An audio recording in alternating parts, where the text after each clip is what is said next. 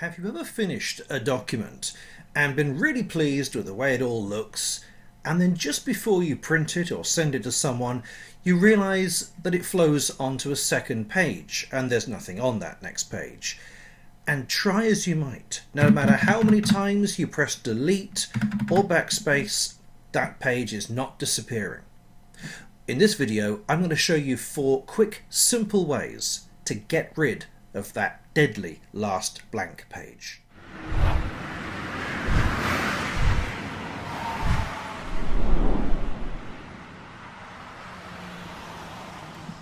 Hello. It can be really irritating when you've just finished creating a document, you've got everything just perfect, and then you scroll to the bottom and find you have an extra page, a blank page, with nothing on it at all and you go to get rid of it and you can't. Microsoft Word just will not allow you to get rid of that last page.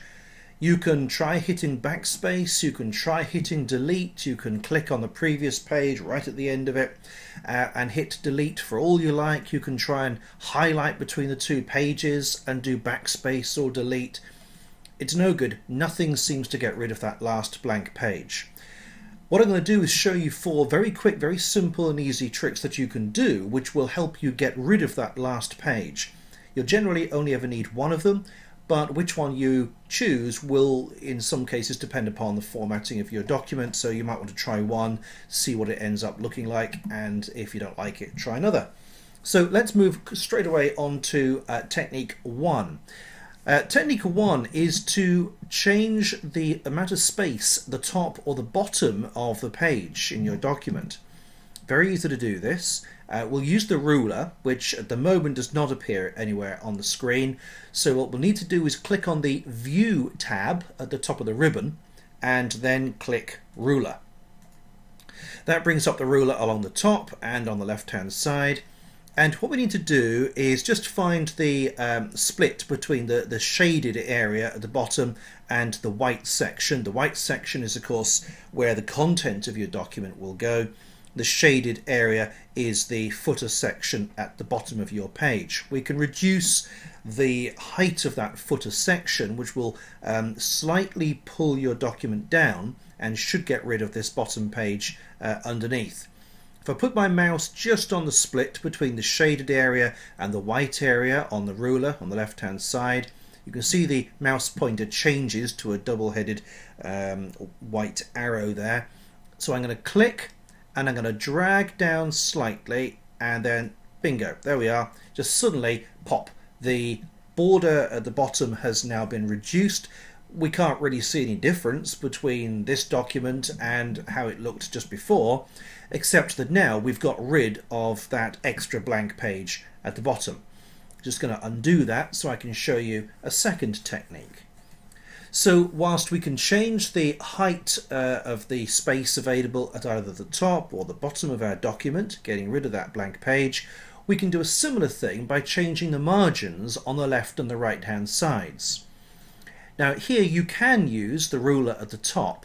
Problem is it's quite tricky, especially on the left hand side with all these uh, tab widgets and everything here. Uh, so what I would tend to suggest, especially so that you can keep things symmetrical, is to go to page layout at the top of the ribbon and then head, head over to the left where it says margins and choose custom margins at the bottom. Now what we can do, you can change the heading at the top and the bottom. Uh, you can see it's 2.54 top and bottom at the moment. What I'm going to do is change the left and right margins. I'm uh, going to change that down to say 2.1. So I'm taking off 0.4 of a centimetre on the width. Uh, and by changing the left and right margins slightly and clicking OK, there we are. Um, Again, you may not even notice that there's much of a difference. Uh, 0.4 a centimetre isn't a huge amount, but it's less than half a centimetre um, added to the side. You can't really see that. Uh, but what you can see is that we now have only one page. We do not have that extra blank page at the end. I'm just going to undo that again uh, just so I can show you the next two methods. So you have there the ability to Get rid of that blank page by changing the top or the bottom margins, the left and right margins, keeping it symmetrical. Now the next thing to do is to look at paragraph spacing. You'll notice that every paragraph has a space above and below it. By slightly reducing that paragraph spacing, it won't make a lot of difference to the way the document looks, but you will just pull it all up slightly so you get rid of this extra page at the bottom.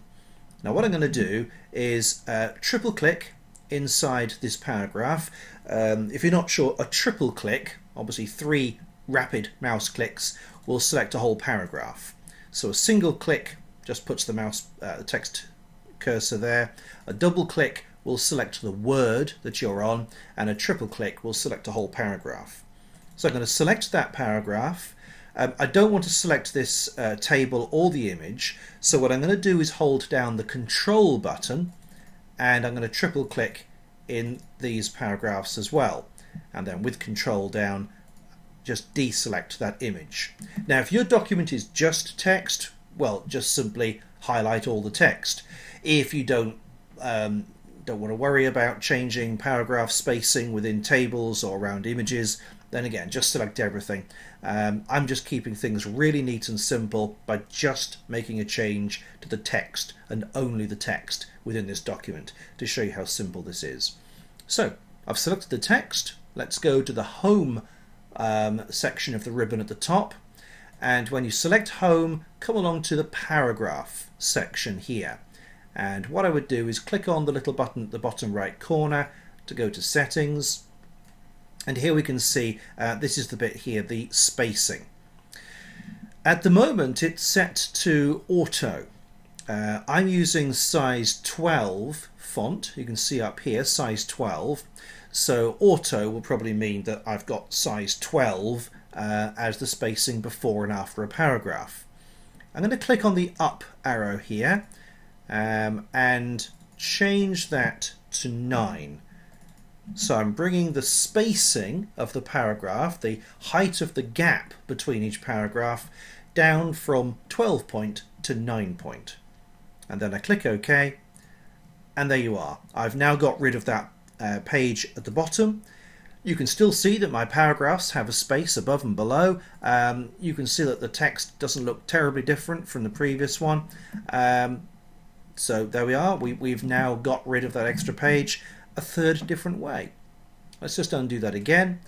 And now let's look at the final method, the fourth method, which will help to uh, reduce your uh, document down a page. Uh, again, if we, I'm just going to highlight everything now, so uh, you could just simply click and drag to highlight everything, but Control A is the keyboard shortcut, which will select everything.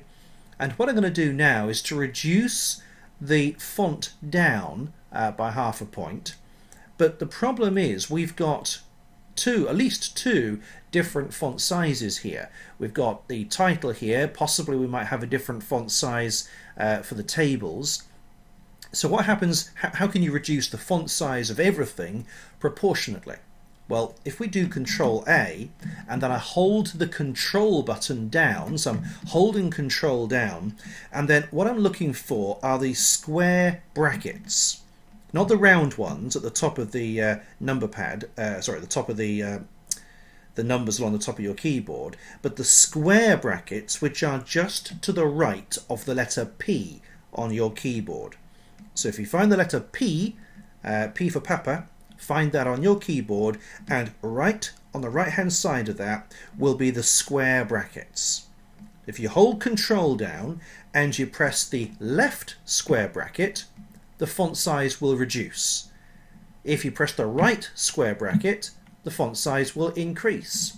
And that's for the whole document, regardless of what size font is uh, with, used within each section of your document. So you'll notice that if I press the left square bracket, all of the text, including the title text, the paragraph text, the text in my tables, everything is reduced uh, by half a point to a point. So you've still got the same basic proportions, the paragraph spacing is still the same, but now we've reduced the height of our document so that we have got rid of that blank page at the bottom. So um, you'll see that we've got quite a lot of extra space at the bottom. Uh, so what I'm going to do is just undo that and all I'm going to do now this time is select the paragraphs of text. I'm not going to select the title, the image or the table um, and then rather than using the control and square bracket I'm going to go right up here where you've got the size of the font and I'm going to start by just typing in 11.5. Um, maybe people didn't even realize you can have half a point. So 11.5, press enter. No, we haven't quite got that, so let's try 11 then. And there we are, we're down to 11 points on that. Uh, we've not had to reduce the size of the title. Uh, we haven't had to reduce the size of the table. In fact, we may even find that we can increase the size of the text in the table quite a bit now. So there we are, four quick and simple ways of changing uh, the formatting of your document very subtly so that you can either reduce its overall length if you've just gone over onto another page and you don't want to have just a paragraph of writing at the top of the final page, or if you've got a page that is stubbornly refusing to disappear despite having nothing on it. Four different quick and simple ways that you can uh, reduce that. So top and bottom borders, left and right margins, paragraph spacing and font size. I hope you found this useful. If you did, please consider subscribing and I'll see you in the next video.